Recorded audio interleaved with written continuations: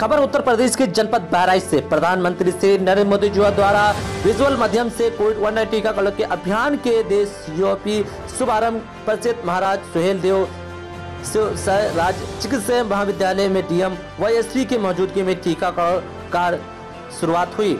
Report Mohammad Talib Bahraich.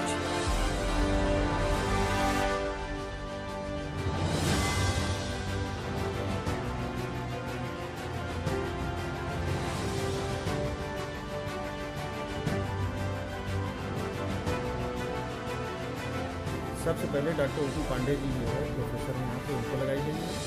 Principal साहब को लगाई गई है। दोनों को क्या कहते हैं रिस्पांस कैसा है इसका?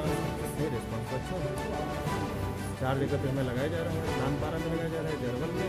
वो सारे जो महिला अस्पताल चारों जगह पे जा रही है। चारों जगह स्टार्ट हो गया प्रधानमंत्री लॉन्च के बाद जो है उनके शुभारंभ करने के बाद यहाँ पे टीकाकरण शुरू हो प्रथम क्या टीकाकरण किया जाएगा ये?